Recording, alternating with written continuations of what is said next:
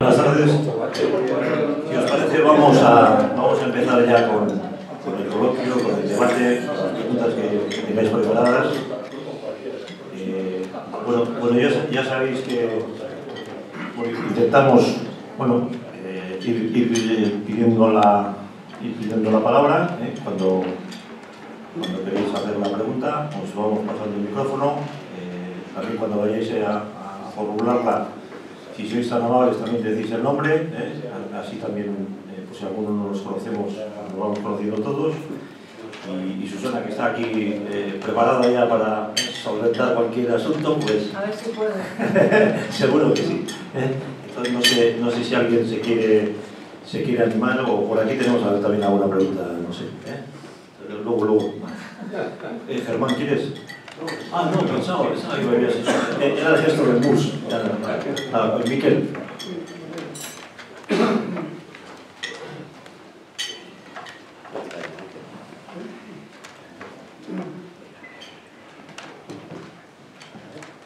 Hola, buenas tardes. En primer lugar, magnífica exposición sobre el tema permanentemente complejo y muchas gracias por ello. Oye, mi pregunta es, bueno, desde el punto de vista, opinión puramente personal, mi nombre es Víctor Varela, desde el punto de vista personal, yo siempre he pensado que en la, en la, en la Unión Europea, con sus diferentes nombres históricos, había o hay poca cohesión social del conjunto del colectivo europeo. Y a lo largo de su andadura, pues me ha parecido ver que han surgido, a veces con identificación de grupos de países, otras veces no tanto, pues, eh, grupos de, de, de, intereses distintos, ¿eh? pues el norte con el sur, los del este por otro lado, etcétera. Entonces, tirar reflexión, digo, puramente personal. Me ha parecido que la Unión Europea ha ido a más velocidad que la que le permitía su motor. Esa es mi opinión. Entonces, de repente, bueno, en ese contexto, yo creo que lo que necesitaría probablemente Europa, Europa institucional, la Unión Europea, es una reflexión profunda ¿eh? sobre dónde estamos, a dónde queremos ir y si es preciso retroceder, retrocedemos para que haya más cohesión, más unión, más institucionalidad, más un grupo más homogéneo. En eso vino el COVID. ¿eh? Entonces el COVID y la guerra de Ucrania, por no extenderme, yo creo que han sido dos factores importantes de incremento de, de la andadura común, no voy a decir cohesión, de la andadura común. Y eso pues sí, como tú has destacado, ¿eh? con el tema del COVID, pues ha habido una respuesta muy importante, muy eficaz en las instituciones europeas, la guerra ucrania está ahí, pues también se va, ¿eh? se va produciendo. Y eso yo creo que a mí me parece que puede, no lo sé, ese es el objeto de la pregunta, que puede eh, producir el espejismo de que toda esa actuación en común pues implica que Europa está caminando más sólidamente de lo que, de lo que es. Se habla en los últimos años, hace falta más Europa, más Europa. Sí, pero ¿qué Europa? ¿Eh? Y entonces mi pregunta es, ¿cómo lo ves eh, sobre si esta reflexión personal o esta reflexión personal? Si te parece que, que no por mí, eh, digo por, por, por tener la idea, si te parece que Europa va superando esos problemas de, de descohesión, de una manera gráfica, o te parece que vamos caminando hacia algo mucho más, mucho más tejido, mucho más eh, sólido? ¿eh? ¿Cómo lo ves? Perdona, gracias.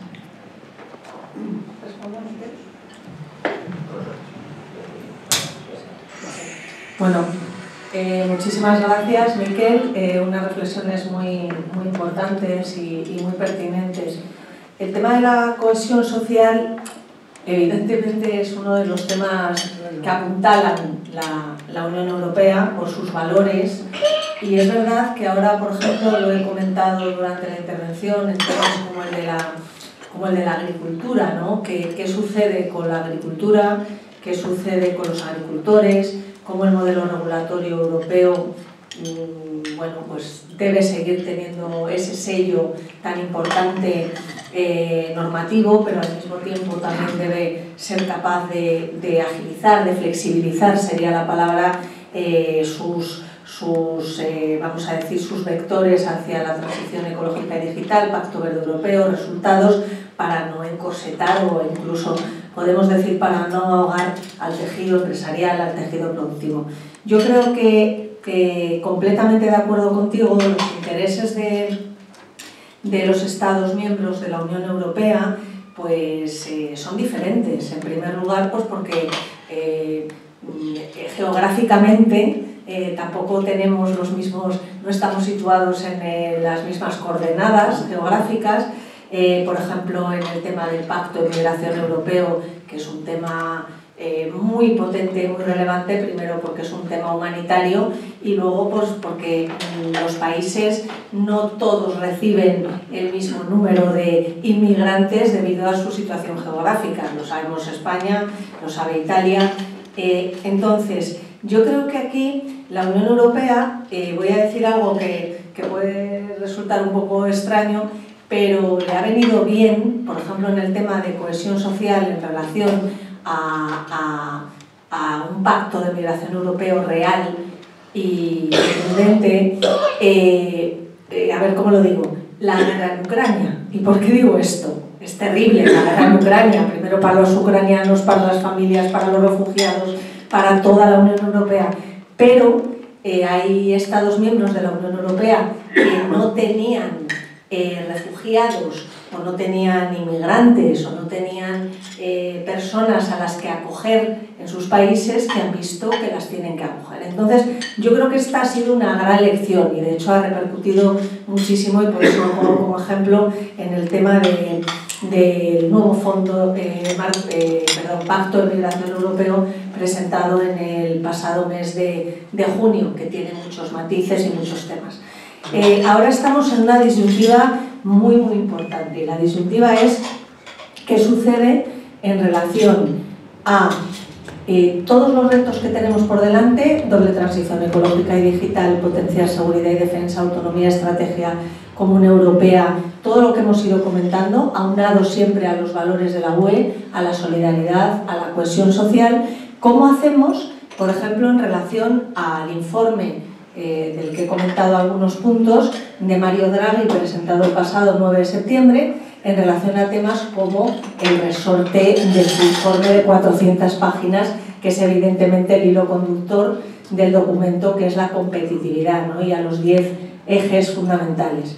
Em, eh, se dice, eh, por lo que comentabas de los intereses de cada Estado miembro, que el informe de Draghi ha llegado en el momento oportuno en relación a la hoja de ruta que tiene que emprender eh, la comisión de Ursula von der Leyen y su gabinete y a los temas principales, pero que ha llegado en un momento político muy, muy delicado. Muy delicado por lo que está sucediendo en Alemania, por ese motor, tú decías más velocidad que la que le permitía su motor, y yo aquí hago referencia, y gracias por tu frase que me ha gustado mucho, yo aquí hago referencia al motor de la Unión Europea, el eje franco-alemán. ¿no? Ahora mismo el eje franco-alemán, la locomotora europea, pues realmente está pasando por una situación complicada, pues por lo de la extrema derecha, la hoja de la extrema derecha, luego sabemos que cómo supo, em, eh, cómo supo Macron, eh, bueno, pues eh, yo ahí defendí que lo había hecho bien,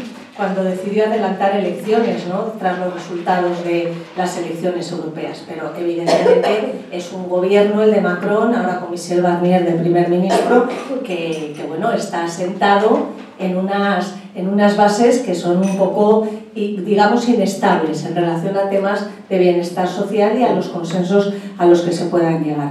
Yo, en relación a más velocidad que la que le permitía su motor, yo creo que eso, por ejemplo, en relación a al euro, al euro y a la política bancaria de la Unión Europea y al gran reto de la Unión Fiscal Europea, pues sí, sí que ha ido a más velocidad, porque tuvimos y tenemos, y es un gran logro de la UE, una moneda común europea, pero las bases, yo no soy economista, pero de esa moneda común no estaban asentadas en una unión bancaria europea o en una unión fiscal que de hecho no la tenemos.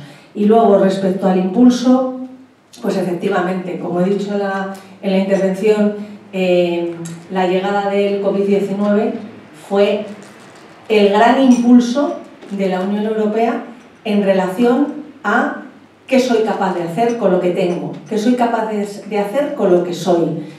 ¿Por qué? ¿Qué Europa? Eh, preguntas tú, Miquel. Pues ¿por qué? Pues porque la Unión Europea, sin tener la competencia de sanidad, lo que comentaba, se sitúa ante el espejo y dice, ¿qué soy capaz de hacer? Los Estados miembros tienen cada uno la competencia de sanidad.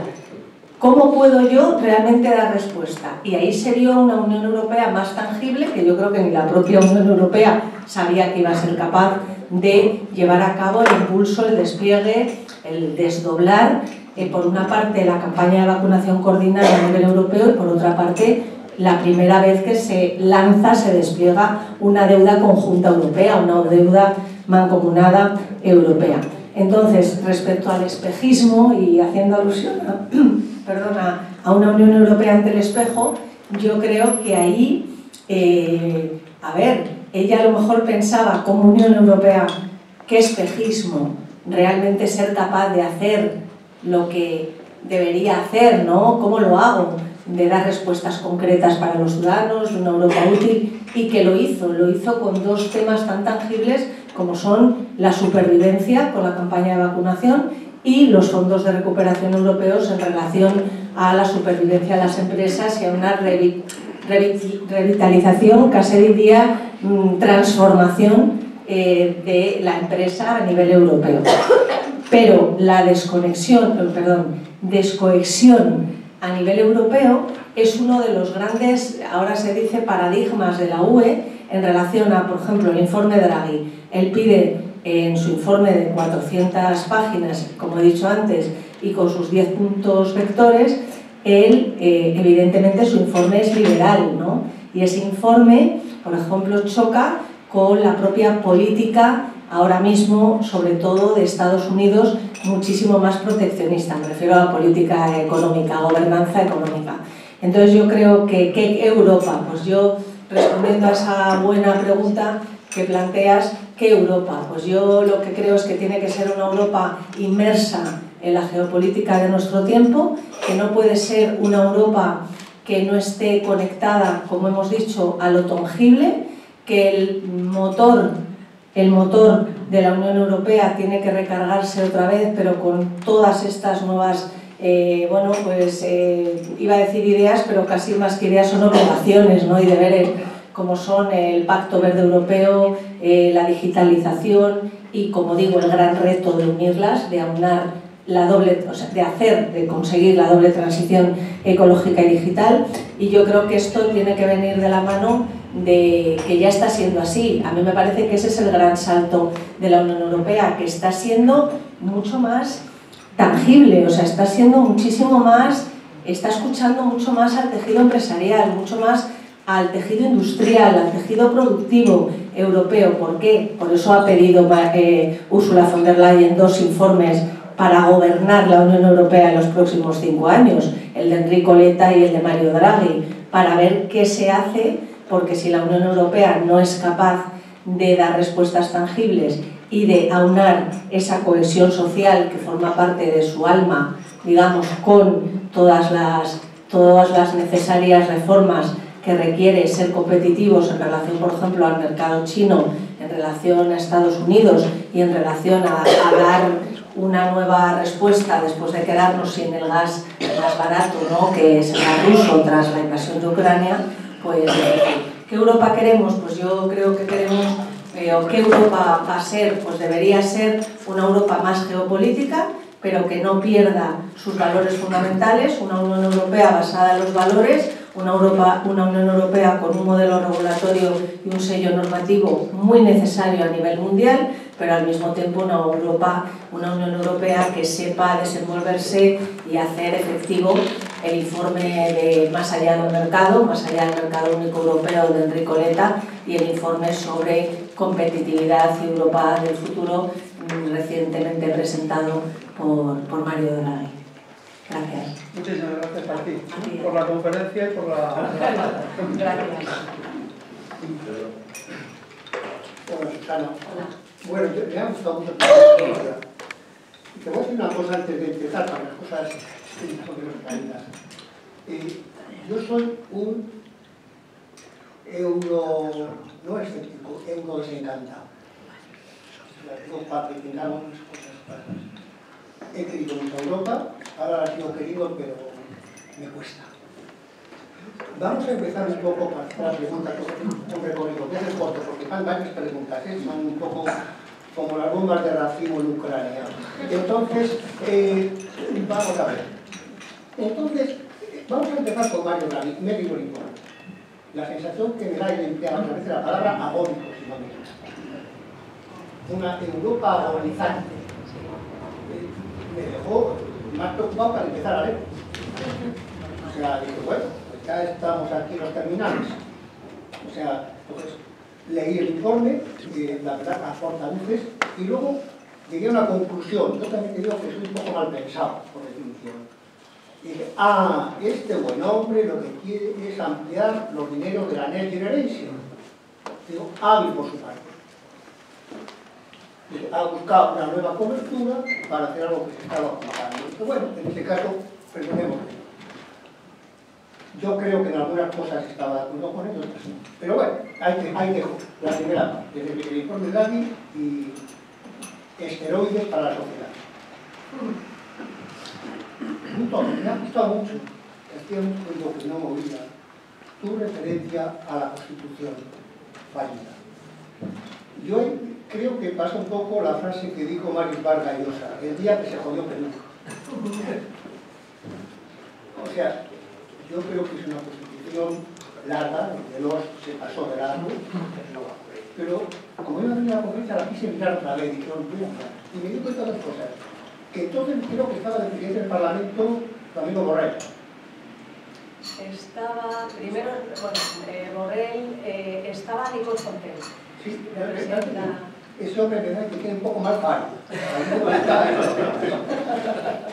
O sea, y luego le iba- me di cuenta que, la segunda casi pregunta, me, me di cuenta de que lo que viene a la Constitución dentro de los valores de la Constitución Europea es paz. Estamos de acuerdo con etcétera, y con lo que tú decías un poco en el libro, hagamos Europa por objetivos, por proyectos. Vaya, vaya por la paz. Si tenemos, ha montado aquí un Cristo en Ucrania de campeonato. Entonces es, ¿qué pintamos nosotros en ese tema que nos han metido? Que no lo sé, ¿eh? o sea, no lo sé. En el Ucrania. Sí, sí, en Ucrania. Es que yo recuerdo que eh, una- un fotoconferenciante que vino aquí, eh, no lo Juanjo Álvarez, Mucho, mucho. que sacó un artículo en Bella, precioso, diciendo nuestra misión es precisamente establecer la paz. Y ahí esas tres cosas tengo, digo, ¿qué, qué combinado más raro tenemos, ¿verdad? Draghi queriendo poner pasta. Una constitución que la sustituye con los tratados de Lisboa, que no de ser otra cosa, sustituir la política con la burocracia. Y por fin nos hemos metido en un fangar que los únicos que ganan son los norteamericanos. Luego alguien lo explicará. Y tenía razón en una cosa, les he explicado antes a eso. El único que que están ganando son los de ventas de armas. Yo invertí un poco en Lockheed Martin. Y esto ver cómo funciona. Me gusta experimentar. Y dije, ah, esto va como una moto. Que como siga así, salís rápido de la operación, dije, voy a estar rezando todos los días para que la guerra dure. Quiero decir, claro, es que es, que es un poco, hemos metido en un tema complicado. Antes con las preguntas o los esbozos, o sea, no las Muchas gracias, Pedro. Eh, respecto a que eres un euro desencantado, bueno, eso yo sinceramente pienso que, que, ha habido un cambio, y lo vuelvo a repetir, en relación, yo creo, a la concepción sobre la Unión Europea tras la llegada del COVID, o sea, y, y esas respuestas, como he dicho antes, tangibles, pero bueno. Eh, respecto al tema agonizante, antes de ayer en la Fundación Ortega y Gasset Gregorio Marañón salió precisamente cuando hablábamos del informe de Mario Draghi y me gustó porque Íñigo Ruiz de Vigo, que era la persona con la que tenía la conversación, que es, que es el prologuista del libro, eh, me decía, dijo, vamos, dijo, vamos, yo, yo, querida Susana, leo el informe de Draghi y veo que estamos agonizando, no hay que ser tan, yo pienso como Íñigo, yo creo que no, yo creo que no, pero también creo, y es verdad, que la Unión Europea se tiene, por decirlo en el lenguaje coloquial, que poner las pilas, pero es que se las está poniendo. O sea, yo creo que el, programa de gobierno que ha presentado eh, la Comisión Europea el día eh, exactamente, creo que fue, sí, fue el 16 de julio, 17, el 17 de julio de 2023, eh, del 2024, perdón, es un programa de gobierno eh, a la altura de una Unión Europea, bueno, pues que quiere realmente, pues eso, eh, ser eficaz, dar respuestas, seguir en la senda de, de, responder a los ciudadanos, etc. Luego el informe de Mario Draghi, él dice agonizante como, yo creo también en el sentido de, a ver, de dar la utilidad a su propio informe, ¿no? De decir, si no hacéis los deberes o si la Unión Europea no hace los deberes, desde luego en el tema de competitividad estamos muy verdes y eso es, eso es real. En el tema de competitividad estamos muy verdes. ¿Por qué? Pues porque China eh, y Estados Unidos y lo que ha sucedido con el, con el gas ruso pues nos ha hecho tener que recomponer un poco a todos los niveles que va a hacer la Unión Europea. Luego, respecto a lo que comentas de, de los fondos Next Generation, va en la línea de lo que he comentado en la intervención. O sea, el despliegue de los fondos de recuperación europeos con los dos vectores de Pacto Verde Europeo y de digitalización realmente no tendría sentido, y menos aún con cómo se están invirtiendo a veces los, los fondos de recuperación, que sinceramente no se sabe bien dónde se están invirtiendo, pero es que ese no es un tema de la Unión Europea. O sea, me refiero, ella lanza los fondos estoy personificando permanentemente a la UE. Ella lanza los fondos de recuperación europeos, ella consigue en el Consejo Europeo que incluso Polonia y Hungría, lo he comentado antes, accedan al mecanismo de condicionalidad para que haya ese respeto al Estado de Derecho y esa condicionalidad, esa condición de salvaguardar, de cumplir eh, el Estado de Derecho para la recepción de los fondos, los más reticentes, por supuesto, Hungría y Polonia, aunque luego accedieron en Luz Verde, pero realmente los fondos de recuperación europeos Next Generation EU, los que no lo están gestionando bien son los gobiernos, y en concreto lo digo así, el gobierno de España, eh, me da igual del color político que sea, o sea, desde el momento que llegan millones, miles de millones de fondos para invertir fundamentalmente en esos, en esos, en esos sectores y no se sabe bien dónde están, cuándo son los tiempos, eh, no se pueden realmente eh, invertir fondos que se están quedando por el camino. Pues está siendo un problema, seguro que pasa en otros Estados miembros, de que la Unión Europea lo despliega, pero que no están cumpliendo en su inversión los gobiernos respectivos. Yo, de hecho, hay veces eh, que cuando tengo que dar una charla o tengo una reunión con un sector, que sea, recuerdo el farmacéutico, que también, por cierto, el sector farmacéutico es uno de los ejes del, del, informe de Mario Draghi. Eh, yo allí digo, a ver, el, el, ¿cómo se dice? El fondo de recuperación eh, vanguardia de la salud unida al gran objetivo de una Unión Europea de la Salud, para seguir en la senda y en el entrenamiento, vamos a decir así, de la vacunación, de cómo se hizo todo. Entonces, me estudio todo y yo no recurro a la página web de los fondos de recuperación europeos, dónde están, en qué tiempos, de, de la página web del gobierno. Yo recurro a las grandes Big Four, que tienen cada una una página estupenda, ya sea igual. Eh, eh KPMG es más pequeña, pero igual. Price, es que son, y Deloitte, es que están informando al minuto de dónde están los fondos de recuperación y. Entonces, Mario Draghi yo creo que también aquí es un aviso a navegantes, como diciendo, a ver, hemos sido capaces de hacer esto, estamos... Eh, entrenados. Este mecanismo, lo he comentado también, este mecanismo está para quedarse o este mecanismo mm, no va a ser un instrumento a medio largo plazo de la UE. entonces es cuando tanto Enrico Leta en su informe sobre más allá del mercado único como Mario Draghi en su informe eh, sobre competitividad y futuro de, Europa, eh, los dos llaman la atención sobre los eurobonos como una manera de que haya, bueno, pues ese, el establecer ese instrumento común a nivel europeo que además también traza las sendas hacia esa más difícil, vamos, yo no soy experta en eso, pero más difícil eh, unión fiscal europea o incluso unión bancaria europea. Luego, en relación a la Constitución, que muchísimas gracias por, por hacer alusión a este tema, porque es uno de mis no sé, de mis temas guinda, ¿no? En los que creo.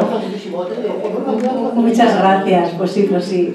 Pues a ver, mira, cuando he comentado que, que se celebró la conferencia sobre el futuro de Europa, iba a durar dos años, pero duró uno, pues porque tenía que terminar la conferencia sobre el futuro de Europa bajo presidencia francesa del Consejo de la UE, porque el impulsor fue eh, Macron.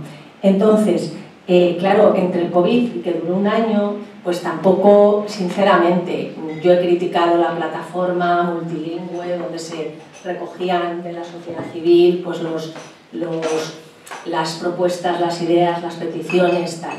Pero bueno, ahí están los temas, ¿no?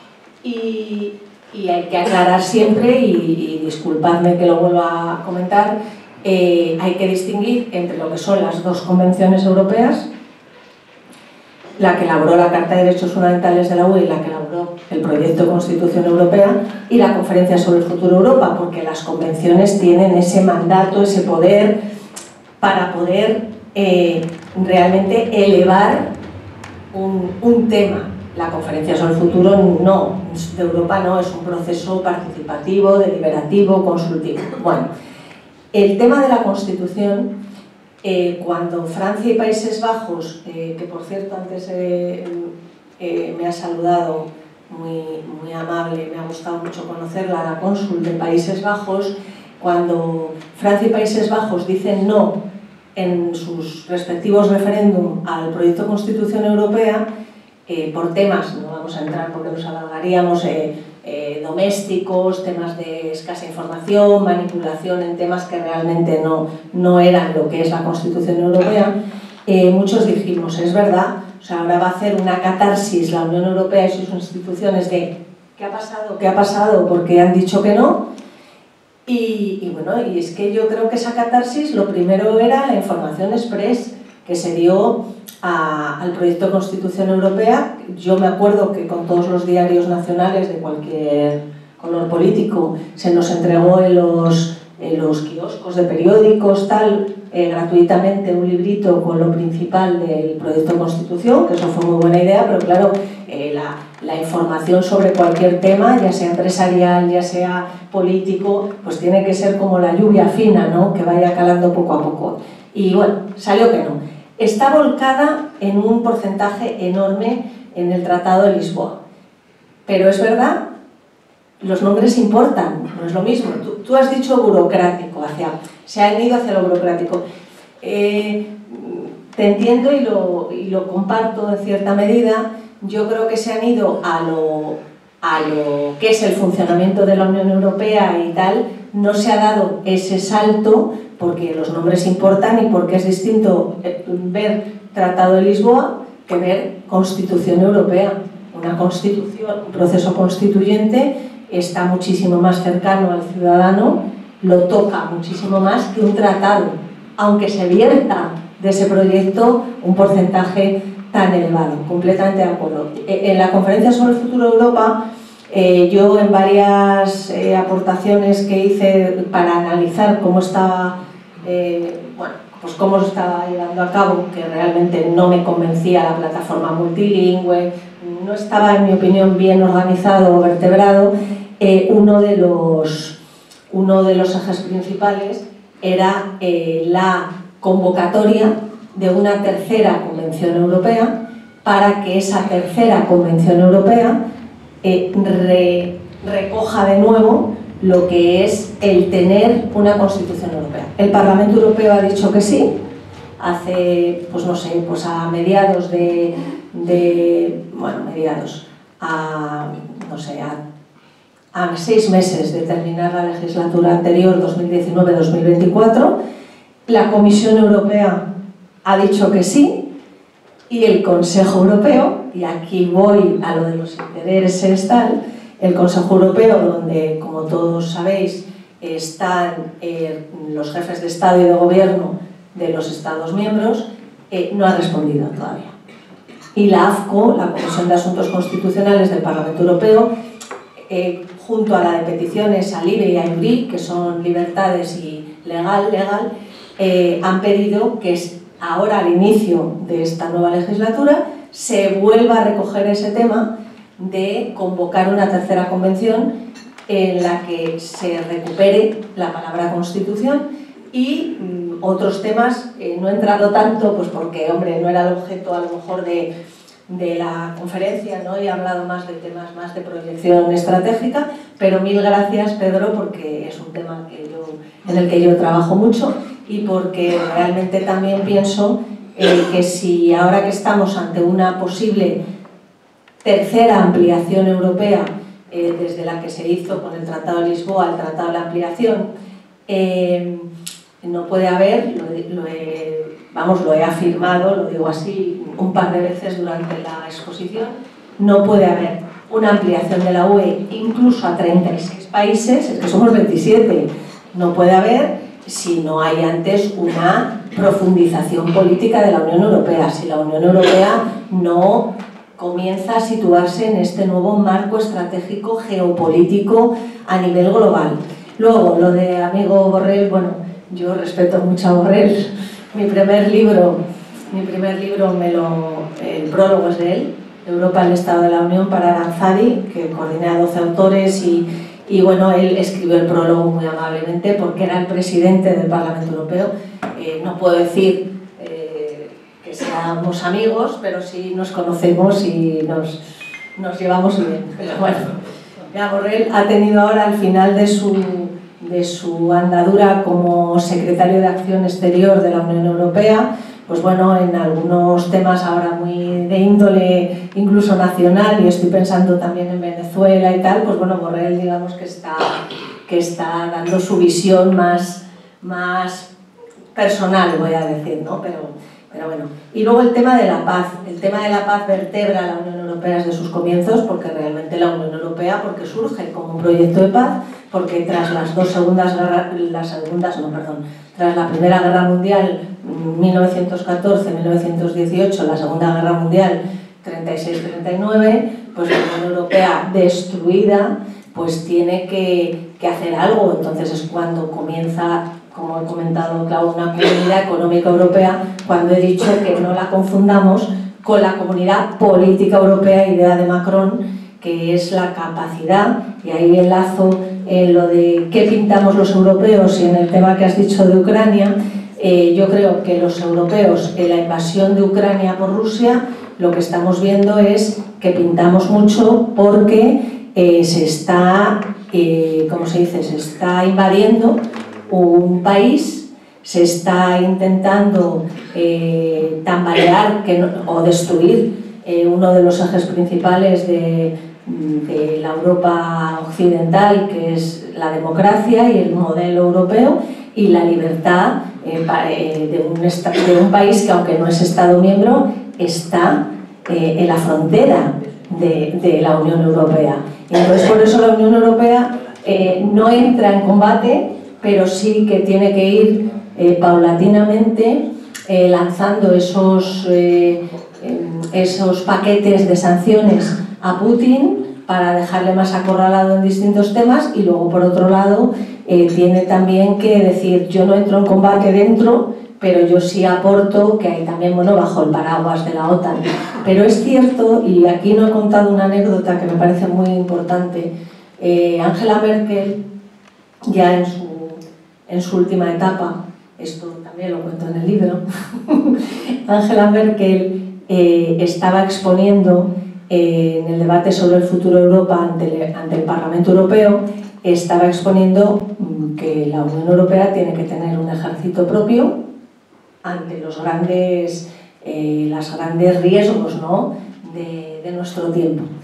Y entonces me acuerdo que yo pensé, eh, ahora mm, Trump, a golpe de, a golpe de, de tweet, Trump era todavía presidente de Estados Unidos, va a poner algo ya. Y entonces miré, el, bueno, él o su equipo, y entonces miro y veo que pone, pero ¿por qué Merkel dice lo de un, lo de un eh, ejército europeo si ya tiene la OTAN? Y entonces Angela Merkel, que se ve que estaba pensando lo mismo que todos en ese momento, dijo, un ejército europeo complementario a la OTAN.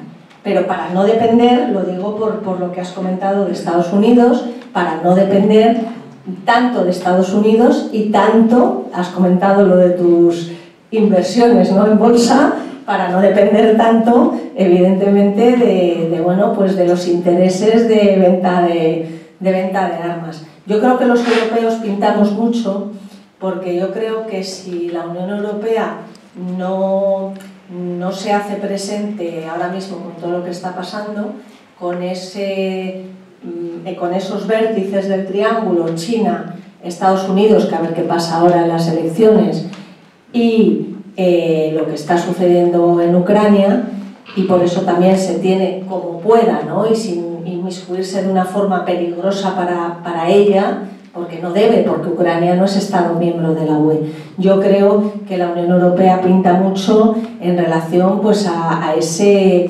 Yo nunca he creído que la Unión Europea tenga que ser el primer, primer actor en el mundo, de hecho no lo he dicho nunca. Eh, eh, tiene que ser el primer actor a nivel mundial. No, la Unión Europea tiene que ser un actor a nivel mundial y la Unión Europea yo creo que lo que tiene es que defender sus, sus, valores, sus anclajes, sus pilares, pero que también ser capaz, evidentemente, de, bueno, de unirse a estos tiempos y a estos, eh, a estos grandes desafíos. Y ahí yo creo que pinta mucho en relación a la comunidad política europea, a los 27 Estados miembros unidos a 17 países que sin ser miembros de la UE, entre ellos Ucrania y Reino Unido, eh, deciden estar bajo, esa, en ese, bajo ese paraguas de defensa, de seguridad, pero también de acción, de valores, de democracia, porque es que si no nos van a comer, eh, eh, pues por ejemplo, Putin, eh, pero en temas muy, muy graves. Sí, sí, perdón, sí. No. No, no, sí, pero- por favor. Vamos a ver, es que has entrado en un terreno que es Resbaladizo. complicado, com- por lo menos complicado, y a la cual, como estoy jubilado, le dedico muchas horas al día. O sea, yo creo que yo me he hecho monotema y monopatín. O sea, tema. Eh, entonces, vamos a ver. Yo es que cada vez entiendo menos. Dice, mira, cuando en 2014, 2014, ya no bien, eh, Victoria Nuland dijo, fuck the Jews. Digo, "Vale, vale, parece que esto va solucionándose bien, nos hemos quedado elegidos que nos hace falta. Y de repente volver a meternos en un potaje en el cual tristemente no tenemos ni. Tristemente, no hay ni. Los depósitos están para joder. Mayoritariamente, ¿eh? O sea, hasta los ingleses andan dando pedales y ahora se ha ido Zelensky a Pittsburgh, creo que estaba de ayer por ahí, o Pensilvania, buscando, firmando buses. Pero, digo, esto está un poco complicado. Esto está un poco complicado. Eh, luego, ya hay, hay, un principio geopolítica, un principio básico, ¿eh? Nunca te metas con el vecino que es grande. Si quieres sobrevivir. O es un principio, o sea, yo creo que el vecino es grande de, de grande, ¿eh? O sea, no es grande... Y segundo, que está acostumbrado a luchar. O sea, no es un... Tiene recursos. O sea, cumple a veces, todo el abecedario de yo voy a ganar la guerra. Y yo creo que hay nosotros, y luego además, yo me he sentido mal últimamente, lo he comentado aquí en la mesa, la última semana con este tema, ¿eh? El señor Zelensky tranquilamente se va y dice, no, yo voy a poner en el plan al jefe, a Yapi, le voy a explicar un poco de qué voy a hacer, porque los europeos no importa, van a decir amén, amén, amén. Esa es la expresión que da, ¿eh? Le hago los papeles, yo voy, hablo con el señor este, hablo con el otro, y a ver si Trump me recibe un poco en casa, si tiene tiempo y tal, y hago un rato con él. La verdad que me he sentido como europeo maltratado. Porque la mayoría de la, del dinero que se ha puesto, si sumamos, ha sido europeo, ¿eh? Pero bastante más. no hay estamos todos tontos, pero no todos, no, todos les gusta. Entonces, no, no me sale, no me sale la ecuación. Que Susana, que no me sale, digo, pagamos lo que no mandamos. Eh. Pero, o sea, yo creo que, que es que no podemos hacerlo de otra manera. O sea, lo que no podemos es que se esté invadiendo un país que está en la frontera, vuelvo a decir que desde dicho se les escaparon dos veces dos misiles y es que llegaron a Polonia, o sea, lo que no podemos es no establecer algún tipo de. Y luego Estados Unidos, claro, Estados Unidos eh, geográficamente es que esto también importa, porque claro, ge geográficamente no le sucede eso, está lo de los armas, que estoy de acuerdo contigo, pero a mí me parece que la opinión pública europea ante lo que está pasando en Ucrania y el propio engranaje político de la Unión Europea no se podía mantener al margen, porque de hecho uno de los, de los eh, objetivos eh, de Putin ¿vale? es invadir Ucrania, pero es que mm, Putin, para la Unión Europea, es el objetivo a batir. Tendremos también que poner nuestros, no sé, que nuestras sanciones ya están puestas, pero también que ver que esa es verdad, eso es un catalizador para que hayamos respondido en los temas de seguridad y defensa común, que estamos muy, muy verdes, muy verdes, y aunque, bueno, aunque no guste la palabra, eh, la industria militar que tenga realmente que, que, bueno, que, que, ponerse en marcha, porque no la tenemos, que es uno de los ejes de esta, de esta legislatura. Da, no gusta decirlo porque es decir como dijo Ursula von der Leyen en su presentación de programa, dijo, estamos en guerra. No, no gusta, pero está. A ver, decirlo así, eh, con todo el respeto, hay que decir siempre, en mi opinión, que no, que nosotros no estamos en guerra, porque claro, los que están sufriendo, los que no están en sus casas, los que tienen bombardeos un día sí, otro también, los que han perdido a seres queridos, los que han llamado a filas a hijos, a nietos, son los ucranianos, los que han tenido que huir son los ucranianos. Pero bueno, de alguna manera es también decir, nos tenemos que, que preparar. Yo creo que la Unión Europea, eh, entiendo, y, o sea, entiendo lo que dices, pero yo no puede hacer otra cosa. O sea, no puede estar allí eh, con ejército, ni con ejércitos de los, de los, estados, de los estados miembros, no puede, porque no es un estado miembro de la UE, entonces la cláusula de solidaridad conjunta ante la invasión de un Estado miembro es clara, todos. Pero cuando se escapó un misil a Polonia, estábamos todos cruzando los dedos, porque claro, ahí, ¿y si a alguien se le ocurre decir, no, no, pero si es que han entrado en Polonia? Yo lo veo así. O sea, entiendo tus reflexiones, pero para mí la Unión Europea está haciéndolo bien dentro de, que estoy 100% de acuerdo contigo, de la complejidad de la, de la situación, porque que iba a ser neutral no podía. Pues... Eh, tenemos clara tu opinión, Pedro. Así que sí, sí. Eh, sí. Está muy bien. ¿eh? No, que está muy Respetable. Ah, respetado. Hola, soy Rafael Herreros. En primer lugar, gracias Susana por tu habilidad de, de esta charla que has dado tan estupenda y por responder a estas preguntas. Si me permitís, yo he tenido a una chica ucraniana y a su hijo de tres años en mi casa, refugiados durante un año, y nadie me tiene que explicar por qué la Unión Europea, Estados Unidos y el mundo entero tienen que apoyar a Ucrania en este, mm, yo diría, eh, delito que está cometiendo la Unión o Rusia y Putin contra ese país. Porque lo he vivido, que conozco una opinión directa, y eh, para mí es una monstruosidad y creo que Europa está haciendo lo correcto. Vale, ahora la pregunta. ¿eh? Quería hacer una pregunta terrenal, porque hemos eh, volado muy alto. Yo quería hablar del Pacto Verde, has hablado del Pacto Verde, una de las líneas estratégicas. Y yo he visto últimamente noticias muy preocupantes en relación al Pacto Verde. Eh, Volkswagen ha anunciado que va a cerrar fábricas porque el tema del vehículo eléctrico parece que no está funcionando en Europa.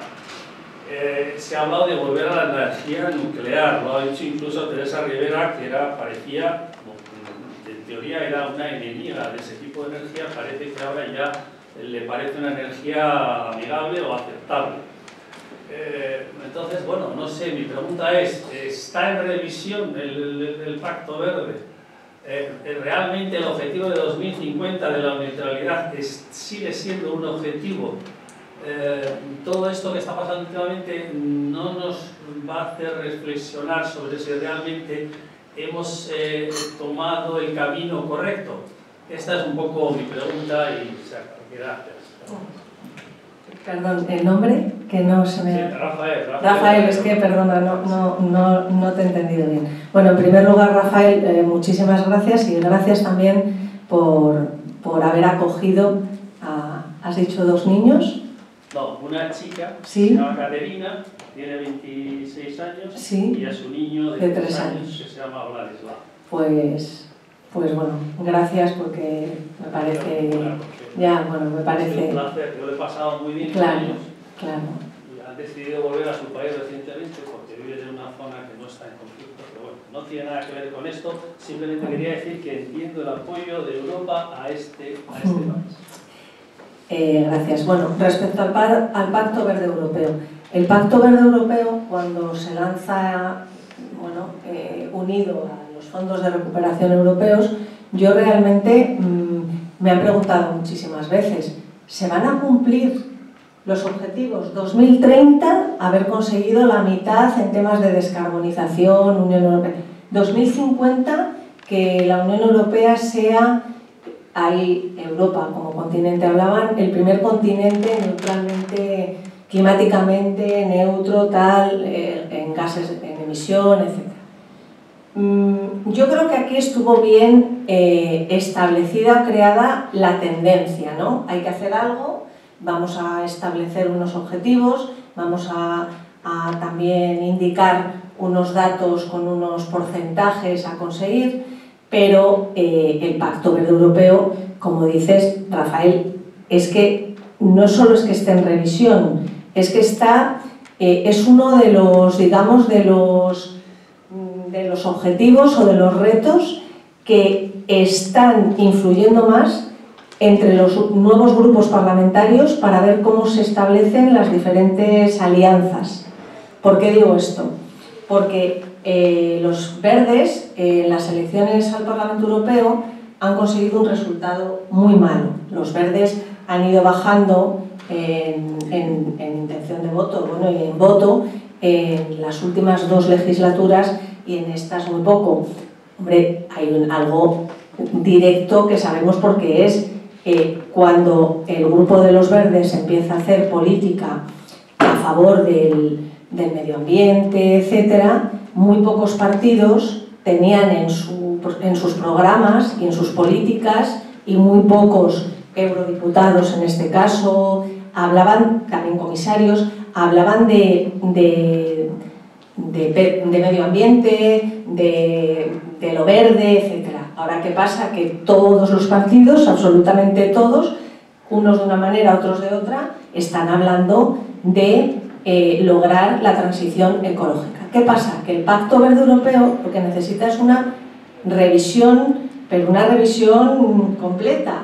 ¿Por qué? He puesto el ejemplo antes del tema de los agricultores. Cuando los agricultores empiezan a decir, si cumplimos con estos objetivos, no somos competitivos con productos que llegan de otros países o que llegan de Marruecos o que no exigen una normativa tan, tan estricta, tan rigurosa y eh, Ursula von der Leyen, he contado la anécdota, sale rápidamente a declarar que en el tema del barbecho que va a haber una mayor flexibilización porque se da cuenta que no se pueden cumplir esos objetivos. Entonces, la revisión, que además aquí se ha criticado mucho a Ursula von der Leyen, de si va a derrocar, por decirlo de alguna forma, el Pacto, el pacto Verde tal y como ella lo lanzó con los fondos de recuperación europeos, vamos, ella y el Consejo Europeo y la Comisión Europea como Gobierno Europeo, y lo va a derrocar, digamos, eh, completamente, o si en la alianza para votos del Grupo Popular Europeo, Grupo Socialista y de los Progresistas Europeos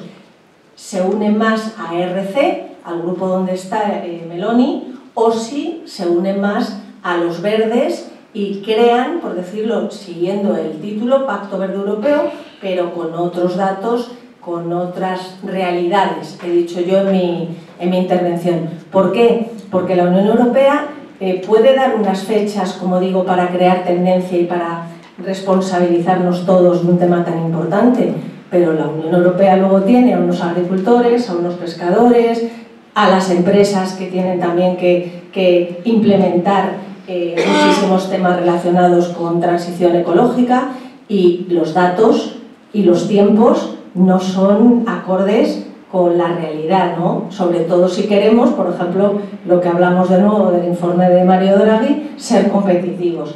Entonces, el Pacto Verde Europeo, que si sigue ahí o se va a revisar, sigue ahí como Pacto Verde Europeo, pero se tiene que revisar porque de hecho hay distintos grupos parlamentarios que tienen ahí una gran, una gran fricción con Ursula von der Leyen para ver qué hace y para que se flexibilice, siendo al mismo tiempo conscientes de que el cambio climático es una realidad y que hay, que hacer algo. Pero claro, al mismo tiempo la reindustrialización de la UE, que se requiere para ser competitivos, pues también tiene que, hay que ser realista ¿no? en cómo se implementa o no se implementa el pacto. ¿Está para revisión? Me preguntan. Estábamos en revisión continua. Está en revisión continua.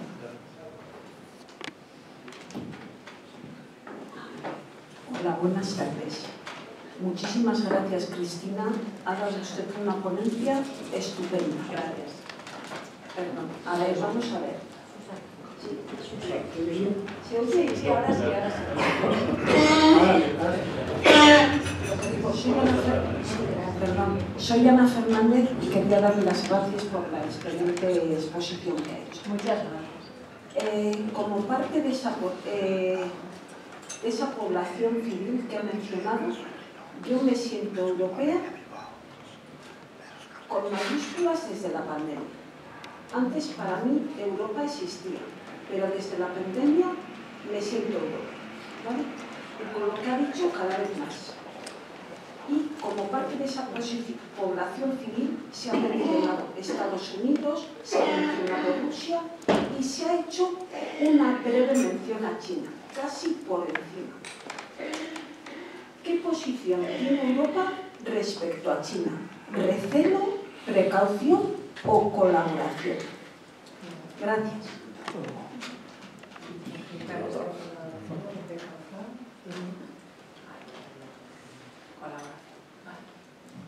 Eh, muchísimas gracias, Ana.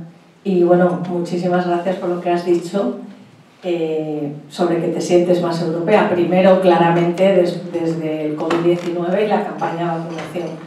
Y si mi intervención ha influido algo, pues yo, vamos, me llevo el super regalo, super regalo del día. Eh, mira, es muy, muy buena tu pregunta. Eh, China. China es fundamental. China, China, Estados Unidos y lo que he comentado también del- de que nos hemos quedado sin el gas ruso barato y ahora hay que recomponer eh, lo que es nuestra estructura de modelo energético europeo, pues, pues bueno, es fundamental. Eh, respecto a qué papel, o a qué, más que a qué papel, a qué tipo de relación, lo has dicho muy bien, eh, y a qué tipo también de, de comportamiento ¿no? Va a tener o quiere tener la Unión Europea, eh, ya sea de recelo, de precaución o de colaboración. Pues yo creo que ha empezado por el recelo eh, y no hace mucho, y cuando digo no hace mucho, igual pues hace pues justo antes de las elecciones europeas del 14 de junio, precaución. Precaución, pero con ánimo, y a mí esto me gustó muchísimo cuando lo escuché la primera vez, eh, con ánimo de que haya una colaboración, porque lo que tiene claro a la Unión Europea es que mm, no se puede quedar aislada. O sea, eh, la autonomía estratégica europea en relación a no ser dependiente en muchos temas y a ser capaz la Unión Europea de ser autosuficiente, eh, es- debe ser eso, para que tengamos nuestro lugar a nivel mundial.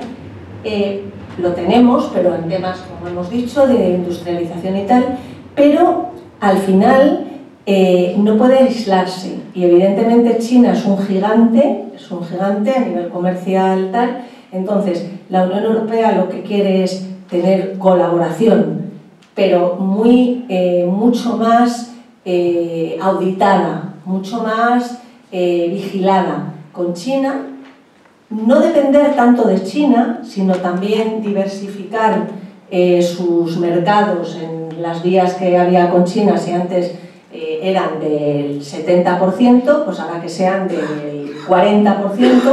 Ahí ocupa un lugar muy importante, lo he comentado al final de mi exposición, eh, América Latina y el recuperar, vamos, recuperar, reactivar, realmente reactivar, porque se ha quedado Mercosur ahí, las relaciones bilaterales en temas tan relevantes como materias primas, eh, tierras raras, tan importantes y a nivel comercial.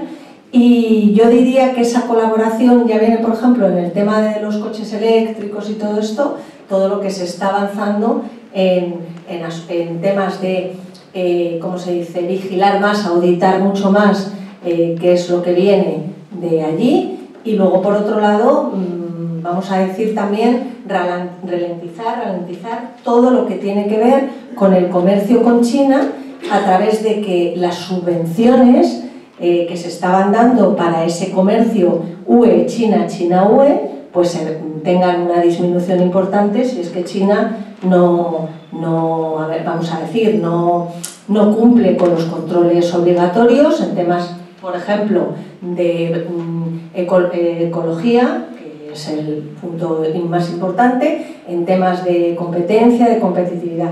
Y luego enlazado a lo que decía Rafael, en el tema de, por ejemplo, el Pacto Verde Europeo, claro, eh, China es que no cumple, o sea, a nivel mundial, China, claro, no cumple con, con casi nada de, del avance que se está haciendo. Y bueno, y cuando Trump también se descolgó del Tratado de París, eso fue tal. Entonces, ahí en esa revisión también influye lo que ha comentado Rafael del Pacto Verde Europeo y la revisión eh, necesaria.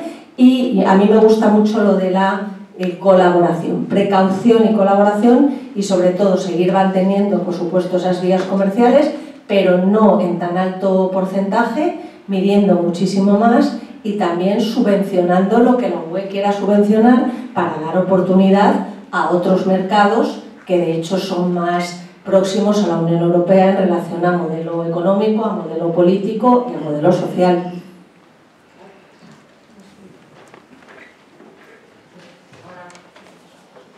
Eh, buenas tardes, me llamo Celia Sánchez, soy de la UPV y lo primero felicitarte, me ha encantado toda la exposición y las preguntas y las respuestas, me parece que estoy aprendiendo muchísimo, me ha encantado haber venido y, y simplemente quería consultar, yo vengo ahora de, he estado acreditada por la UPV en la Cumbre del Futuro, en, en la ONU, y a mí me ha llamado mucho la atención lo que comentaba Antonio Gutiérrez, ¿no? sobre las nuevas generaciones, el papel eh, que tienen que adoptar las nuevas generaciones en este futuro ¿no? eh, que nos planteamos cuando ahora mismo más de la mitad de la población tiene menos de 30 años y sin embargo menos de un 2,6% de, de, estos menores de 30 años son diputados ¿no? a nivel global. ¿no? Entonces tenemos un enorme problema en el medio y largo plazo cuando tenemos el horizonte 2050 en el cual en el horizonte 2050 eh, posiblemente las generaciones vamos pasando para atrás y van ellos tomando, tomando el camino y, mi consulta es eh, al respecto qué es lo que se plantea. ¿no? Esa es una preocupación, en el discurso de apertura Antonio Gutiérrez hablaba de, de, la gobernanza y de la necesidad de hacer partícipes a las nuevas generaciones. También entre pasillos, y no solo entre pasillos, se hablaba también de la necesidad de reformar la Agenda 2030, de, de reformar los ODS en 2015, en la línea también de la en la misma línea. Y mi pregunta está relacionada con eso, ¿no? puesto que precisamente en este papel que tenemos a nivel global en la Unión Europea somos líderes y están viendo lo que estamos haciendo, eh, ¿qué es lo que, eh, ¿cuál es el papel que, que, ahora mismo la Unión Europea o cómo, eh, cuáles son los instrumentos que, que plantea de gobernanza para esa población joven que tiene especial peso en Latinoamérica y que están mirándonos por ejemplo, con la ley de restauración de la naturaleza, en Estados Unidos están dando pasos también, por ejemplo, la ley antiinflación de Biden 2019. ¿Y cuál es la respuesta ¿no? ante este doble desafío que es eh, el Pacto Verde eh, aquí en Europa, pero en realidad es una Agenda 2030 a nivel global, y la gobernanza de los jóvenes. Gracias. Muchas gracias, Estrella. Eh, a ver, y felicidades por tu trabajo y que hayas estado en la Cumbre del Futuro, con la ONU, etc. A ver, el tema, bueno, eh, eh, la Agenda 2030, lo que he comentado antes, ¿no? tanto durante la exposición como ahora ante la, con la pregunta de Rafael, va a tener toda una revisión. Si es que, a ver, nosotros, o yo al menos, eh, conozco mucho más eh, lo que se está debatiendo y cuáles son los, eh, los temas más candentes, ¿no? incluso de, más delicados, ¿no? más a nivel UE y en el engranaje interinstitucional, que también importa. O sea, no es lo mismo, lo he dicho antes con la convocatoria de una tercera convención europea, no es lo mismo lo, que, lo que propone o lo que acepta el Parlamento Europeo y la Comisión de lo que luego eh, eh, hace realidad el Consejo. Eh, luego, en relación al papel de los jóvenes, que este tema me importa mucho, está relacionado además con también con muchísimo con el Pacto Verde Europeo y con la transición ecológica. la solidaridad intergeneracional es uno de los, de los grandes temas de la Unión Europea. Entonces, en relación a temas medioambientales, en relación a temas de nuevas estructuras para el empleo joven, en relación a temas respecto a la propia digitalización, transición digital, esos están mucho más claros. Pero en donde no están tan claros es en el tema de eh, lo que has comentado, de por qué no hay más diputados más jóvenes. Este es, bueno, es cierto que yo no creo que todo el mundo tenga que ser joven, ya no digo a nivel Congreso de los Diputados, Parlamento Europeo, lo digo también en una empresa, o sea, yo creo que de lo que se trata es que se combine ¿no? y se establezca un, un intercambio de conocimiento entre la experiencia de años eh, de, de, un directivo en una empresa, en un banco y también en, en una institución eh, como el Parlamento Europeo pero eh, me hace gracia porque hay un, hay un, ¿cómo se dice? Una comisión, es una comisión, hay una comisión parlamentaria que es la de los jóvenes parlamentarios en el Parlamento Europeo. Y yo pienso siempre, o sea, es necesaria una comisión, o sea, no, lo que tiene que haber es caras nuevas que refresquen y a lo mejor no, no solo de jóvenes, a lo mejor también de personas que valen, que tienen un currículum y que pueden ser eurodiputados y que al final eh, pues no, no, lo son, ¿no? por una experiencia, eh, por su experiencia en un sector, porque si se va a reindustrializar, bueno, si se quiere reindustrializar la Unión Europea, si se quiere enfocar y poner el foco en la industria eh, de la Unión Europea, digo yo que también tendrá que haber eurodiputados que sepan mucho sobre esos temas directivos, del tejido empresarial, del tejido productivo.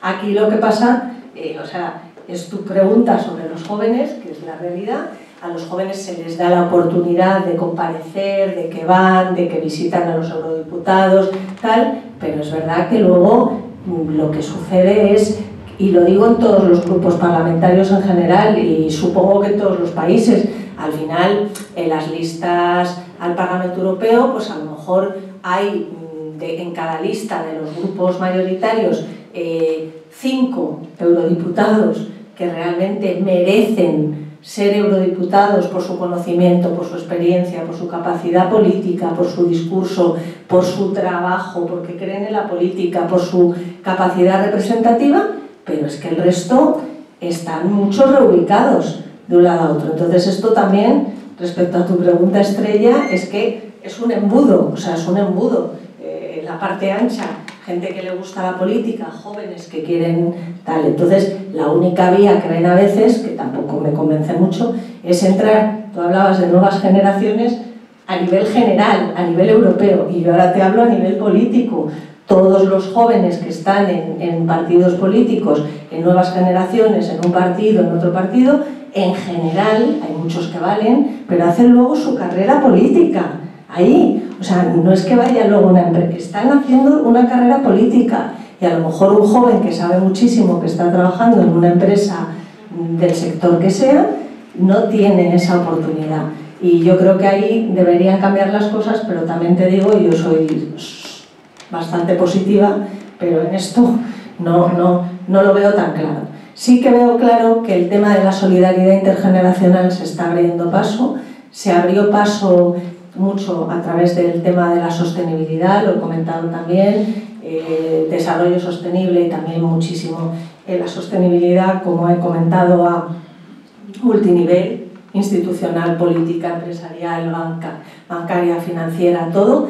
Y luego creo que también tuvo también su, su punto, uniendo con la con la reflexión, pregunta que me ha hecho Ana, tuvo su punto álgido y casi diría de su despegue con eh, la solidaridad intergeneracional durante el COVID-19, porque claro, eh, siempre se ha visto la, solidaridad intergeneracional como eh, nosotros vamos a ser solidarios con las futuras generaciones en relación, por ejemplo, a la huella de carbono, en relación a cómo dejamos nuestro planeta a nuestros hijos, a nuestros nietos. Pero durante el COVID-19 hubo una solidaridad intergeneracional de vuelta, porque todos estuvimos, todos los que tenemos hijos, todos pensando, oye, que un nieto que tiene COVID, que no contagie a, a, a mi madre o que no contagie a su abuelo, o que... Entonces ahí la solidaridad intergeneracional, yo le quise dar ahí un, Hablé bastantes veces de ese tema, me pareció bonito. Y en el tema político estrella, pues bueno, esta es lo que hay. Pero bueno, vamos a ser positivas. A ver si en esta legislatura, mira, Oriane es muy joven. Y ha venido aquí y se le nota una persona, eh, bueno, yo le he agradecido mucho porque estaba tomando muchas notas, ha, dicho, y me permito decirlo aquí, estoy segura por cómo es, que no le importaría, Susana, escucharte ha sido mi regalo del día y eso, bueno, pues una eurodiputada lo puede decir o no decir y se le ve, dice Miquel que viene bastantes veces, con ganas de aprender, con ganas de decir yo soy eurodiputada y así que bueno, vamos a confiar en eurodiputados como Yanni. Hola Susana. Hola. Mi nombre es Chávez Fernández de Larraín. Eh, la verdad es que lo que has abierto con el tu exposición son muchos puntos para poderte interrogar. Hay, que cerrar y voy a ir a uno, concreto y además tratando de con una persona que ha dicho que bajemos un poco al, al terreno, a la calle. Tengo, también tengo, he tenido tres personas en mi casa ucranianos, permitirme que haga esto. Eh, mi mujer es profesora de castellano a inmigrantes en Bilbao y en Guecho, y una de las preguntas que nos han trasladado siempre, que me mi mujer, que nos ha hecho pensar, es de, esta gente, básicamente marroquíes y argelinos, dice, oye, que les habéis dado una acogida que no tiene nada que ver con la acogida que nos habéis dado a nosotros. Desde el momento cero han podido trabajar y se les ha dado a unir permisos de trabajo. Lo dejo ahí porque esto también podría dar origen a su debate, pero no, no a otro tema. Bien, yo quiero no se trata de ganar la guerra, quizás en la línea de lo que decía, perdona, no recuerdo. No se trata de ganar la guerra, se trata de que hay un país que injustamente se ha visto avasallado. Se trata de, un poco de decirle a, a, los rusos, esto no es justo, esto que estás haciendo, sin ganar la guerra. ¿eh? No, yo creo que es, nadie ha hablado de eso, yo creo que simplemente hacer justicia. Perdona, ¿eh? Ah, sin problema. A ver, vamos a ver. Entonces, eh, mi, mi, cuestión, tú has definido antes eh, a la Unión Europea, no voy a dar todas las definiciones que has dado, pero si has hablado de valores, anclajes, eh, esto podría ser la definición de la Unión Europea. Para mí, como persona, esto sí lleva a que tenga una serie de libertades y a un estado de bienestar, pero el problema que esto tiene, que es a donde quiero ir, son a los impuestos. ¿Cómo se mantiene el estado de bienestar? perdona, yo todavía aparte del sistema positivo, si alguno más me dice que es capaz de encontrar tesoros por ahí, estupendo, pero para mí esto es dinero. Partiendo de una base que es la que vemos en los informes de Draghi o de Ricoleta. El de Ricoleta sí me he leído, el de Draghi resúmenes, espero leerlo. Y entonces cuando te empiezan... Pero cuando te empiezan a decir que el 30% de las eh, empresas que son unicornios en Europa parece que se quieren trasladar a Estados Unidos porque tienen un tema importantísimo, menos regulación, claro, más libertad, más capacidad de acceder a financiación, menos regulación que lo has dicho tú, 3.000 disposiciones anuales frente a 13.500. Qué bonito, ¿verdad?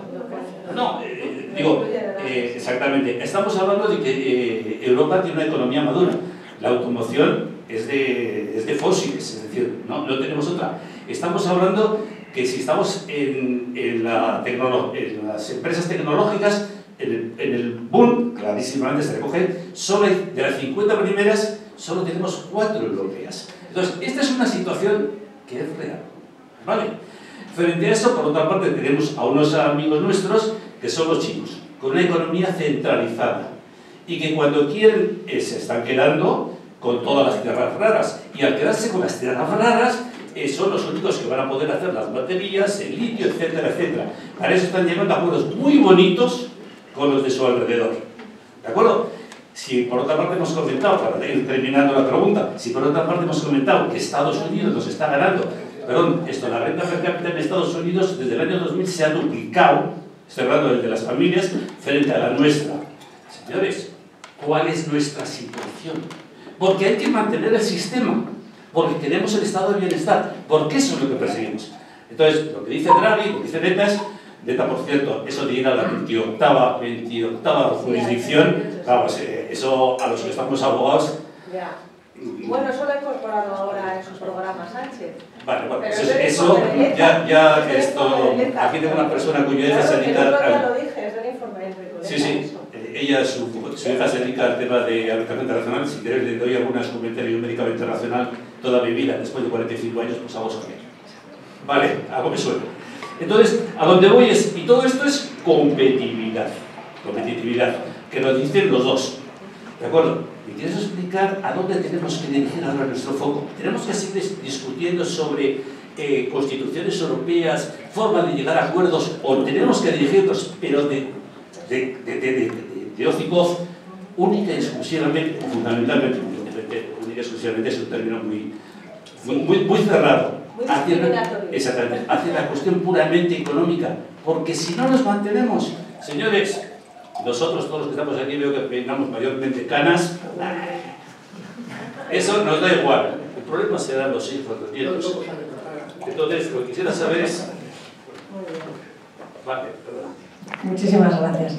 Bueno, eh, a ver, eh, yo vuelvo a decir que si no hay un, una sincronización entre lo que es eh, lo que son los valores, lo que es como eh, ha dicho su reflexión Pedro, el tema de la Constitución Europea, volver a retomar el debate y tal, unido a estos temas que tienen que poner y que son el foco ahora de la UE. A mí me parece que en esta legislatura, el otro día lo comentaba en una entrevista, eh, lo más importante es precisamente todos los deberes que hay que hacer en relación a los dos informes eh, de Enrique Colette y Mario Draghi y en relación no solo a esos informes que marcan muy bien la hoja de ruta de dónde tiene que incidir ¿no? y poner el, el colmillo la Unión Europea, sino en relación a evidencias que estás tú eh, explicando. O sea, todo lo que tiene que ver, por ejemplo, los eurobonos. ¿Qué va a pasar si la Unión Europea no es capaz de establecer ese mecanismo conjunto en el que los Estados miembros a veces son reacios? Pues porque, bueno, eh, los fondos de recuperación europeos, Next Generation EU, han marcado esa, mm, ese punto de salida, ese despliegue, pero realmente tiene que establecerse un mecanismo continuo. Luego, el tema del modelo regulatorio, lo he dicho también como uno de los grandes retos de nuestro tiempo. ¿Por qué? Porque el modelo regulatorio europeo, vuelvo a decir, eh, sin perder un ápice del sello regulatorio en relación a normas, en relación a ese equilibrio que la Unión Europea lo pone muy bien a nivel mundial y que nos diferencia de China, de Estados Unidos, también ese modelo regulatorio es el que hace que la Unión Europea sea mucho menos competitiva, que la Unión Europea, eh, lo que has dicho, que empresas importantes estén yendo a Estados Unidos, pues porque que los agricultores protesten porque ven que no pueden realmente competir con productos eh, con fruta, con hortalizas que vienen, por ejemplo, de Marruecos o de otros sitios. Entonces, yo lo que creo, estoy completamente de acuerdo contigo, es que la Unión Europea ahora mismo tiene un programa de gobierno, y cuando digo de gobierno es el programa que ha presentado Ursula von der Leyen de la Comisión Europea, que es nuestro ejecutivo, para que todos estos temas realmente sean mm, el foco principal.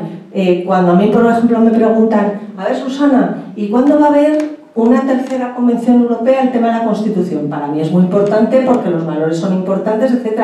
Pero yo siempre digo que lo más urgente ahora no es convocar una tercera convención, que lo más urgente ahora es que la industria europea realmente sea competitiva, que tengamos también una industria militar y, una política exterior muy, muy fuerte que sea capaz también de tener una eh, política común de seguridad y defensa europeas.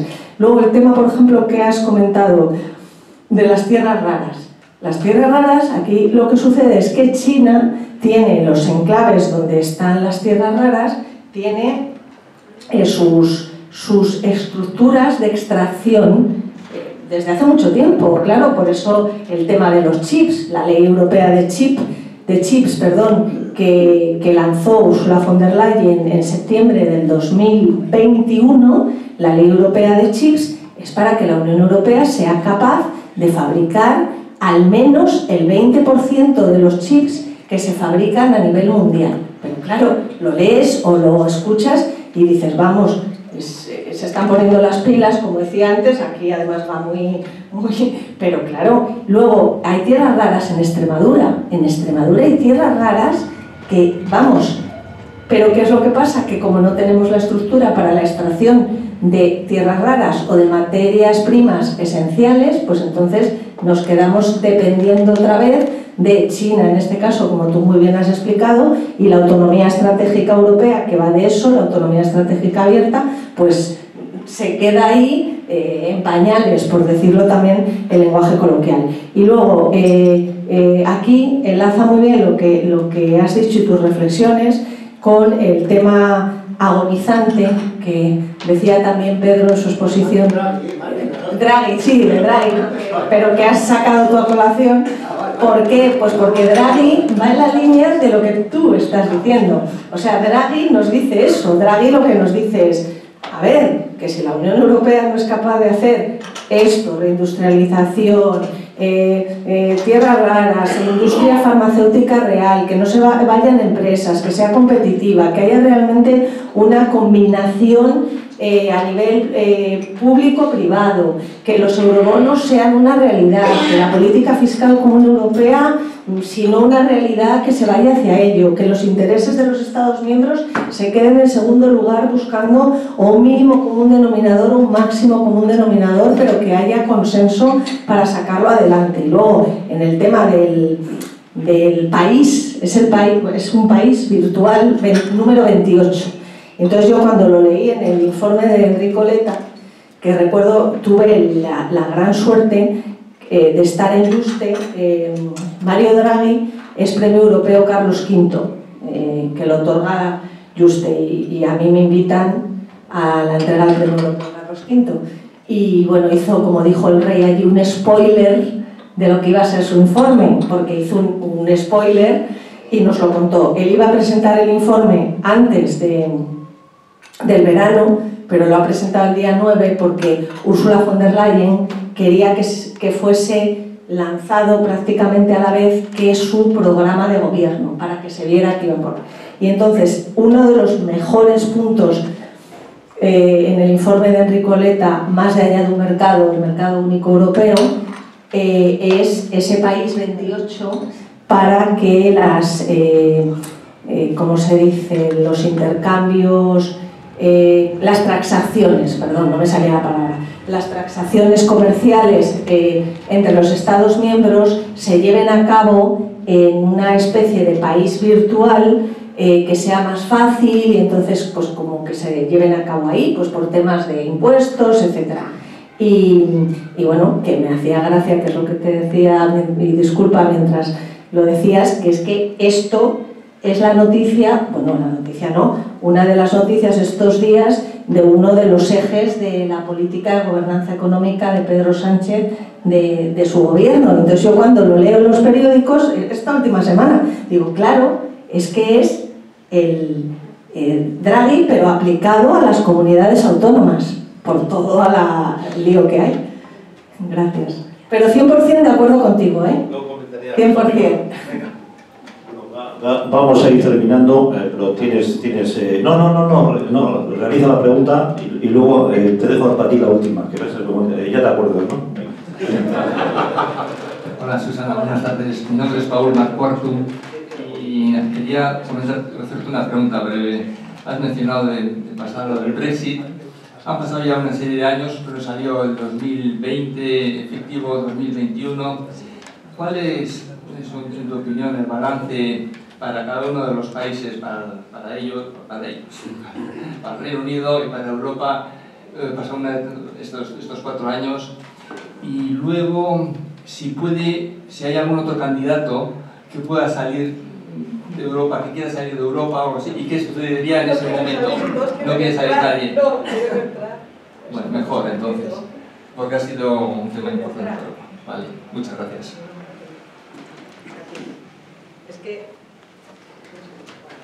cuando lo estabas eh, comentando, Paul, ¿es Sí. Eh, Paul, estaba pens- cuando has dicho ahora eh, qué países si quiere alguno salir, he pensado yo que he pensado, he pensado yo qué bien, si es que no quiere salir ninguno, quieren entrar todos. Además ahí debo decir que Zelensky, claro, es normal, cuando empieza a pedir entrar en la, en la Unión Europea, a ver, esto es un proceso, o sea, es verdad que hay que dar, por supuesto, esperanza, es verdad que ante lo que ha pasado hay que darle, por eso está en la comunidad política europea, el que ha, la idea es de Macron, pero quien la ha eh, impulsado evidentemente es la petición de Zelensky y luego Zelensky en los parlamentos, incluido el británico, pero en los parlamentos nacionales, en el Parlamento Europeo pidiendo ayuda, que es que aplaudía a los diputados. Yo escribí para el correo un, un, una columna, el Parlamento como baluarte, explicando la, la, la valentía y también la, ¿por qué no decirlo? O sea, la grandeza de Zelensky, vamos, lo digo claramente, porque nos ha hecho ver muchísimo los valores europeos, ¿no? Y por qué estamos en la Unión Europea y por qué la Unión Europea es un lugar, pues bueno, que estando unidos, pues se pueden hacer grandes cosas y también se puede uno defender mejor, ¿no? Entonces, salir, ahora no quiere salir ninguno, ahora lo que hay es la, bueno, la cola, voy a decir así, de siempre para entrar, pero claro, Turquía, es que Turquía, eh, los derechos humanos, tal, es que se tienen que cumplir unos, unas reglas para entrar, pues como en un club, ¿no? A mí no me gusta hablar del club europeo, pero es algo muy, muy visual, ¿no? Pensarlo, muy ilustrativo, o sea, decir, eh, primero pues se tienen que cumplir unas, unas normas en relación a valores, en relación a Estado de Derecho, en relación a democracia, también en relación al cumplimiento de unos, de unos baremos en relación a, economía eh, saneada, a no corrupción, eh. Entonces, eh, el Brexit, el Brexit que, que, ah bueno, y también iba a decir que evidentemente la Unión Europea da esa esperanza, no digo que infundada a Zelensky, pero Ucrania eh, tiene que también pasar esos exámenes, ¿no? esos controles. Eh, ahora mismo yo pensaba, bueno, ya está en la comunidad política europea como tal, lo que he comentado antes, y enlazando con el Reino Unido, pues el Reino Unido y el Brexit eh, lo he comentado, o sea, yo creo que cuando David Cameron lanza el órdago eh, de cara fundamentalmente a su partido, ¿no? Para decir, ah, ¿veis? Me atrevo, me atrevo, me atrevo a, a decir referéndums. Vamos, yo creo que los referéndums los carga el diablo y Giscard.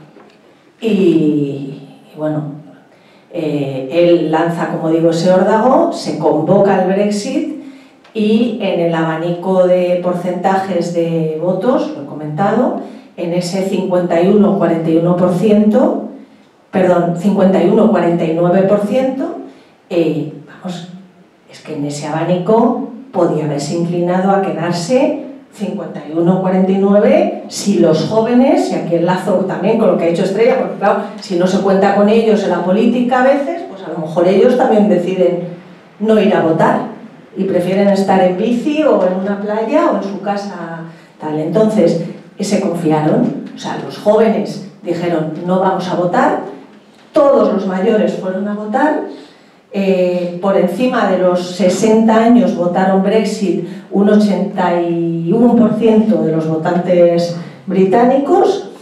Eh, en, el, intervalo intermedio del abanico eh, de 40 a, 40 a 56 votaron quedarse un, creo que era un, sí era, un 52, pero es que Claro, no podía los jóvenes que fueron, fueron muy pocos, votaron quedarse, pero eso no había competición cuando veías el abanico de todos los mayores que habían votado irse. Entonces, el futuro que ellos lo querían en su gran mayoría dentro de la Unión Europea por estudios, por trabajo, luego también lo he comentado, el tejido empresarial, la CITI, mm, se han ido atrás y se han, hay un movimiento que se llama Pulsa Europa en el que hay políticos incluso arrepentidos de haber hecho campaña, eh, campaña por el Brexit. Así que, bueno, yo creo, Pablo, que esa es la lectura. También te digo, comentaba antes, Michel Barnier ahora elegido, como todos saben, como todos sabéis, primer ministro de, Macron, llevó muy bien, muy bien eh, todo lo que fue la conducción de las negociaciones para el Brexit, en su momento con Theresa May, que he dicho que hizo los, hacía los deberes la UE. Yo creo que con los temas de Irlanda, el tema eh, de los acuerdos comerciales, pues bueno, estamos, vamos a decir que yo creo que los británicos eh, quieren volver a la Unión Europea mientras todavía no se ha mm, llegado a la última página de la negociación del Brexit, fundamentalmente ahora, salvando ya el tema de Irlanda, eh, en el tema comercial. Eh, creo que volverán, también me preguntan muchas veces, por ejemplo, ¿Ucrania cuándo entrará en la Unión Europea? Pues, ah, bueno, muy largo, muy largo plazo. Eh, y luego, eh, ¿cuándo entrará, cuándo entrará, no, cuándo volverá el Reino Unido? Pues primero hay que terminar de cerrar las negociaciones de que se está yendo casi todavía, ¿no? No, hombre, el balance es negativo para ambos lados. Yo recuerdo un día después del, del pleno en el que todos los eurodiputados tan emocionantes se dieron las manos, lo he comentado antes, para despedir a sus colegas británicos. Farage estaba tan feliz, claro que se iba, vamos, una locura. Pero, pero yo recuerdo que ahí, en varios discursos, ya se decía esperando ya al día que el Reino Unido vuelva a ser miembro del agua. Pero bueno, es, eh, es que claro, es, es, una situación como que se han solapado en la secuencia lo que quieren ahora los ciudadanos si votasen. Yo decía, debería haber algún día, pero eso sería instrumentalizado y manipulado de mala manera, yo creo, ¿no? Un instrumento de, de, de ¿cómo se...? no me sale ahora, eh, la palabra de, de corrección política. No, no, digo corrección política de ser correctos políticamente, que también, pero de que hubiese un mecanismo establecido en el que se dijese que ante un porcentaje muy, muy, muy ajustado en un tema tan determinante como es el que ahora nos ocupa del Brexit, que hubiese la posibilidad de eh, que hubiese una segunda votación. En un porcentaje, yo lo llegué a escribir teniendo muchísimo cuidado, porque claro, jurídicamente y en derecho internacional eso no está permitido, pero dices 51-49%. Es que seguramente dos semanas después Es que casi al día siguiente, es que yo pienso que al día siguiente habría salido al revés.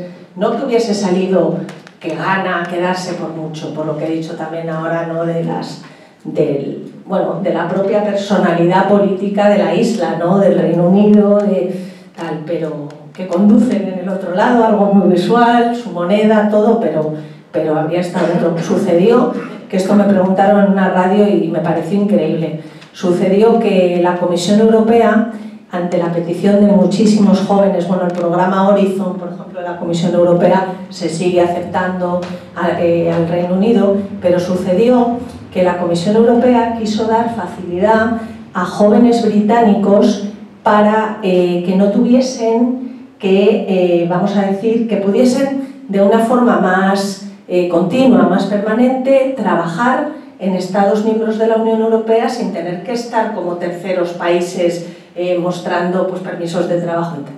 Y entonces yo me acuerdo que, que salió esa noche, me entrevistaba una radio es que me dicen, ¿y en qué ha quedado eso? Y el Reino Unido responde que no, que él, como Reino Unido, como gobierno, eh, no, no daba el ok a esa eh, propuesta de la Comisión Europea, que claramente era buena para también para los jóvenes, nuestros hijos, para los jóvenes europeos, pero de la Unión Europea, porque el Reino Unido es europeo. Pero eh, pero era aún mejor para los eh, jóvenes británicos y que no, que el, gobierno británico lo que quería era eh, alianzas bilaterales Reino Unido, tal país. Reino Unido, Francia, Reino Unido, España, Reino Unido... Y fue algo increíble, salieron a las calles de nuevo y tal. Pero bueno, pues eso, Pablo. Yo creo que a largo plazo, que ha sido una pena el referéndum y, que bueno, que, el Reino Unido también en relación, por ejemplo, a la guerra en Ucrania, pues también, también ahí está siendo muy, muy, muy europeo, ¿no? Por, todo, por temas de defensa y y además es que es, es esencial, porque claro, el Reino Unido que tanto ha hecho, ¿no? También por la paz, por la paz en, en Europa.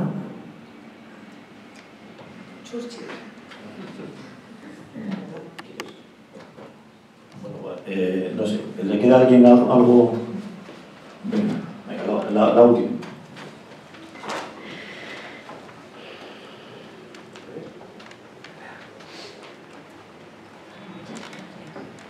De hecho, más que una pregunta es como una pequeña reflexión, eh, tomando, creo que me parece súper importante la pregunta eh, de Estrella, ¿vale?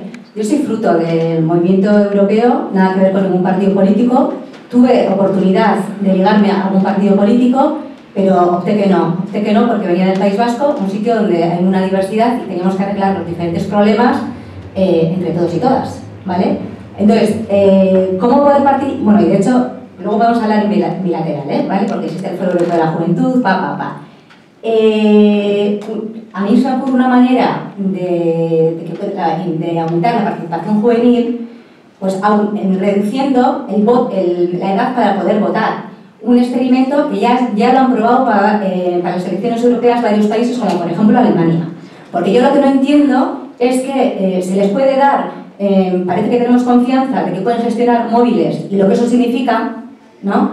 Pero no, no confiamos en que puedan votar con 16 años. Entonces, uno, pues cara al futuro de que, bueno, cada uno en su espacio, pues pensemos sobre por qué no reducir la edad de participación y otra, un poco al hilo de lo que hemos estado hablando, Europa, lo lejos, lo cerca, eh, se comunica, se conoce o no. Bueno, pues yo os animaría a todos y todas, creo que las personas que estamos aquí somos convencidas, más encantadas, desencantadas, europeas, ¿vale? Pues hablar con, nuestras familias, con nuestras familias, con nuestros amigos. O sea, un poco tenemos que contribuir a, bueno, a, contagiar un poco el, proyecto europeo, que es un proyecto de paz, ¿no? Que tiene que ver mucho pues, con Euskadi también en el sentido de, bueno, pues mucho tiempo estamos en paz, ¿no? Sin más, nada más. Es que ricasco. Perdona, ¿tu nombre? Ainiche. Pues nada, muchas gracias también por tu intervención.